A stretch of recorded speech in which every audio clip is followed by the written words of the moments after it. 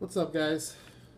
I'm gonna crack open some uh, loose Hot Wheels I picked up today, as well as a couple, um, a couple that are not loose. Starting out with this Ferrari. I don't think I have this one in my collection. It was 99 cents, so I grabbed it. It is loose mint, which is good. I'll have to double check. But I don't think I have this red one with the gold wheels. So I got that one. Everybody loves the Oscar Mayer, which I have had in my collection, but currently don't. Uh, this one, well, it looks not great, but it's not terrible. A couple flea bites there.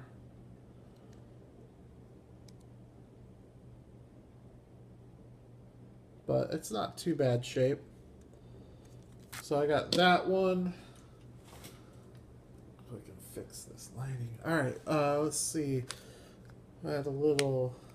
I think this is the Packin Pacer.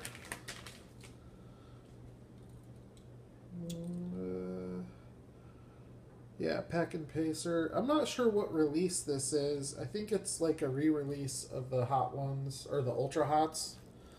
It's really cool though. It's pretty clean. There's a couple smudges on the tampo there on top, but no chips. Uh, it's like a pearl white with the uh, tampos on top, the 427. It's a chrome interior with yellow windows, and it has the gold Ultra Hots metal base. So I thought that was a pretty cool little casting. I picked that one up. And then this one here. I think there are a lot of people that like this casting. I like this casting.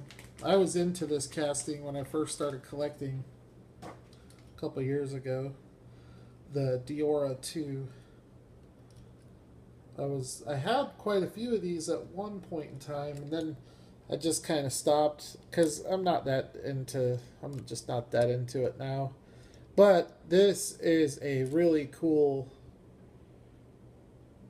variation of the car. Chrome interior. I'm not sure what the Highway 35 is, but the graphics are really cool on this car, and I like the wheels too.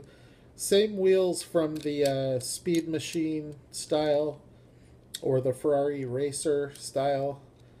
And then you've got your surfboards there on top, the rear mounted massive engine plastic base. They're not rubber tires, but they're still pretty cool. And this one has some detail. Uh, the original Deora, the first one, was based off of a Dodge concept. So it's a fantasy car, but there is some factual stuff about it. And then from the same series is this Chevy truck. I don't know anything about the, this uh, Highway 35 or the Wave Rippers. It's something that I haven't seen. There's a rubber band still attached to this that I just pulled off, so I'm assuming maybe this was a like a hundred percent set. So this is the switchback. Maybe it's not a Chevy truck, but um, I don't know if it's part of, of like a hundred percent set or some adult collectible release. But that one's pretty cool too. Same wheels. I think the surfboards are a little different. Well, here's more rubber band on this side. Kind of show you what I was talking about. That kind of makes me think it was possibly a 100% release. So there are those. And the last loose one, Chevelle or uh, Nova. Nope, it's a 70 Chevelle SS. And this thing is badass. I'm really glad I bought this because this one, I think this one is 100% release. It's metal base. It's a Thailand base. You have real riders if it's not 100%, it is definitely some kind of adult collectible. There's too much detail in this car to be from like the Garage series or something like that. You have brake lights. All the trim is all painted up. The windows, door handles, the fenders. You got the rally stripe. You even have hood pins. I don't think you get that kind of detail from the Garage series. And then the the headlights are painted and the indicators are painted on the bumper, which is part of the base. So a lot of good detail in that Chevelle. I'll have to do a little looking to see what series that came from. All right, so I have four cars on card that I wanted to crack open. Uh, this is the only Matchbox. I like Matchbox cars. Not the fantasy cars, not really the construction stuff, although I do pick those up sometimes. I like the cars, um, and mostly the cars that aren't that are realistic looking, that don't have crazy graphics on them. This thing is awesome. I like the black wheels. I like the uh, little taxi banner there on the door. You have your fare or your pricing menu here on the back. Painted indicator there on the front fender. No rear detail. No front detail. Well, you have your sculpted detail, but no painted detail. But you do have the light on top with the little tampo there that says taxi. I don't know why this won't focus. There's plenty of light. But so that's pretty cool. Little matchbox. And then the rest of these are Hot Wheels. Starting with a Hot Wheels Classics Series 2 1955 Chevy. I like these classics because they all came with Spectra Flame. And they were metal on metal only thing that would have made them better is real riders. But even with that said, with them not having real riders, the tires are still pretty cool here. You have uh, white walls, some of them have white lettering, but the Spectra Flame paint is killer. I love that. So here we have the 55. It does have painted headlights and brake lights. So that's pretty cool. Wasn't really expecting that.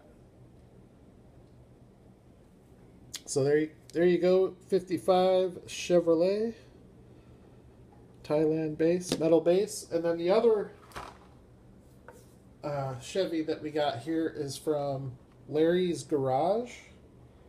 And it looks to be like a holiday. It does have the the flame up here. I think that these might be the more rare ones to find. I think they were with the classics. Like this uh, Deco Delivery back here had one of those. And uh, you don't see a whole bunch of those. It's from 2009. So I kind of dig the garage cars. A lot of them, not all of them, but a decent amount. Particularly the Ferraris. Got a collection of the Ferraris. These uh, garage cars are nice though because they're metal on metal and they do have real rider tires.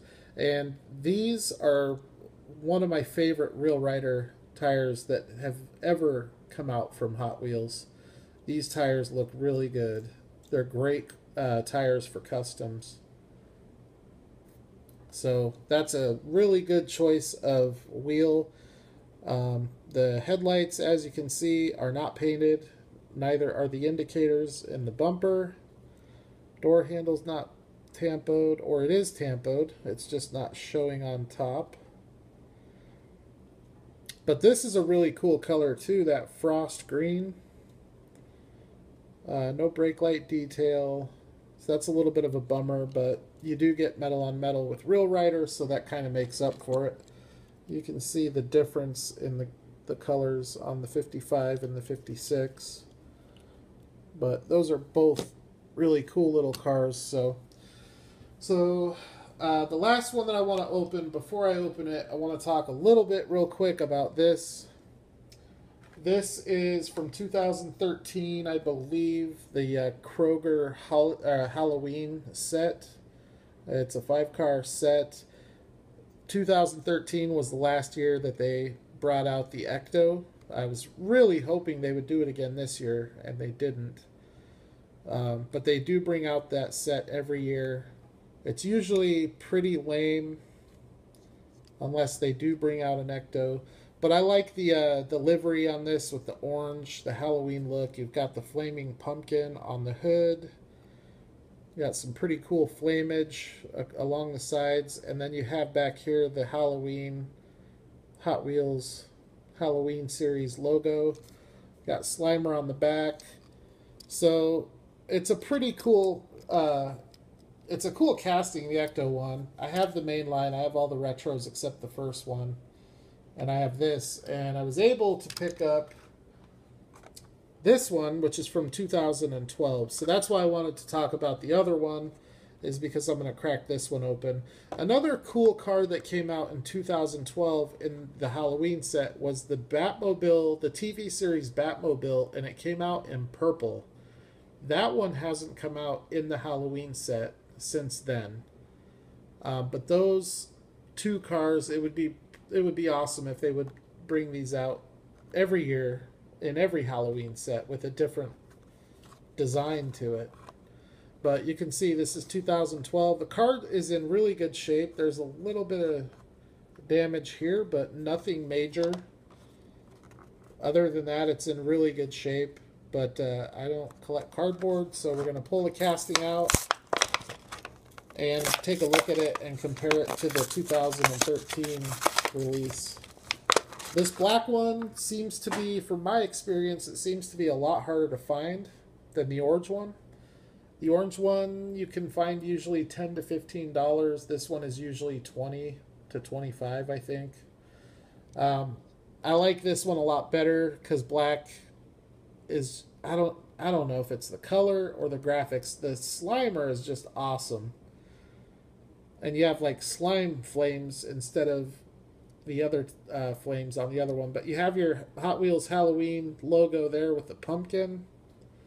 It's a lighter gray top on this one. You still, they both have the green interior, which gives you the green emergency lights on top. This one has a chrome base, the other one has a gold base. They both have the same gold wheels. So which uh, which hood do you like better? The the flaming pumpkin is pretty sweet, but that Slimer is dope. You can see this is a darker gray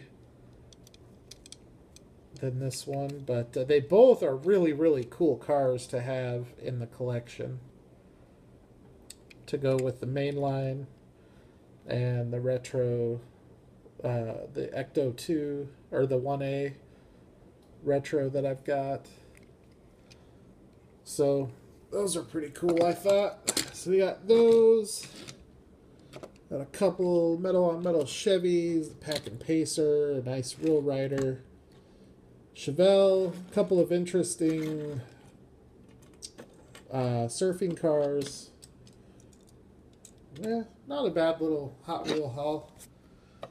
And these were, other than that black Ecto, these were pretty cheap today to pick up.